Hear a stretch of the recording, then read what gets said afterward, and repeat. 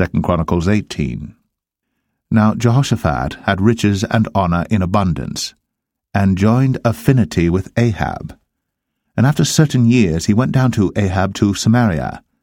And Ahab killed sheep and oxen for him in abundance, and for the people that he had with him, and persuaded him to go up with him to Ramoth Gilead. And Ahab, king of Israel, said unto Jehoshaphat, king of Judah, Wilt thou go with me to Ramoth Gilead? And he answered him, I am as thou art, and my people as thy people, and we will be with thee in the war. And Jehoshaphat said unto the king of Israel, Inquire, I pray thee, at the word of the Lord today. Therefore the king of Israel gathered together of prophets four hundred men, and said unto them, Shall we go to Ramoth Gilead to battle, or shall I forbear? And they said, Go up, for God will deliver it into the king's hand. But Jehoshaphat said, Is there not here a prophet of the Lord besides, that we might inquire of him? And the king of Israel said unto Jehoshaphat, There is yet one man by whom we may inquire of the Lord, but I hate him. For he never prophesied good unto me, but always evil, the same as Micaiah the son of Imlah. And Jehoshaphat said, Let not the king say so. And the king of Israel called for one of his officers and said, Fetch quickly Micaiah the son of Imlah. And the king of Israel and Jehoshaphat, king of Judah, sat either of them on his throne, clothed in their robes. And they sat in a void place at the entering in of the gate of Samaria, and all the prophets prophesied before them.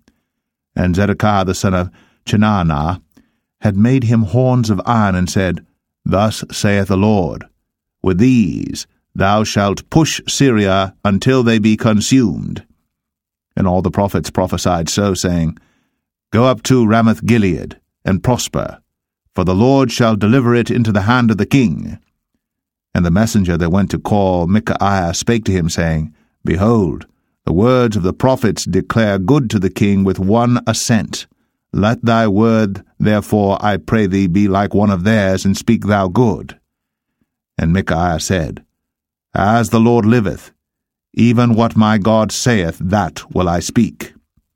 And when he was come to the king, the king said unto him, Micaiah, shall we go to Ramoth Gilead to battle, or shall I forbear? And he said, Go ye up, and prosper, and they shall be delivered into your hand. And the king said to him, How many times shall I adjure thee, that thou say nothing but the truth to me in the name of the Lord? Then he said, I did see all Israel scattered upon the mountains, as sheep that have no shepherd. And the Lord said, These have no master. Let them return, therefore, every man to his house in peace. And the king of Israel said to Jehoshaphat, Did I not tell thee that he would not prophesy good unto me, but evil? Again he said, Therefore hear the word of the Lord. I saw the Lord sitting upon his throne, and all the host of heaven standing on his right hand and on his left. And the Lord said, who shall entice Ahab king of Israel, that he may go up and fall at Ramoth Gilead? And one spake, saying after this manner, and another saying after that manner. Then there came out a spirit, and stood before the Lord, and said, I will entice him. And the Lord said unto him, Wherewith? And he said, I will go out and be a lying spirit in the mouth of all his prophets. And the Lord said, Thou shalt entice him, and thou shalt also prevail. Go out and do even so.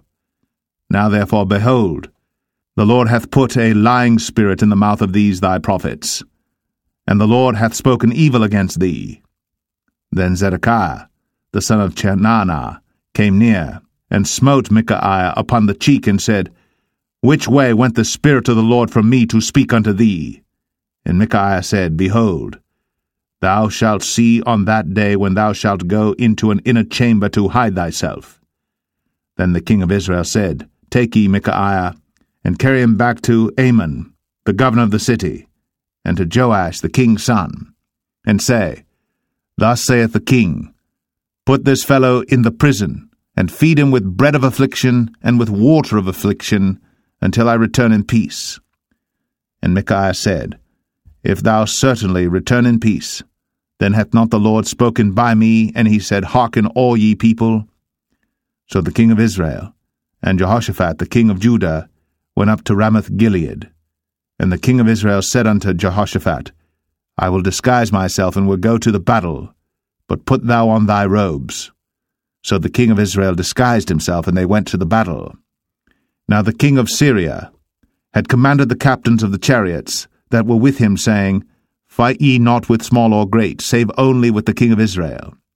And it came to pass, when the captains of the chariots saw Jehoshaphat, that they said, It is the king of Israel. Therefore they compassed about him to fight.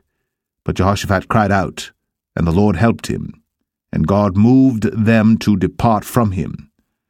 For it came to pass that when the captains of the chariots perceived that it was not the king of Israel, they turned back again from pursuing him. And a certain man drew a bow at a venture, and smote the king of Israel between the joints of the harness. Therefore he said to his chariot man, Turn thine hand, that thou mayest carry me out of the host, for I am wounded. And the battle increased that day.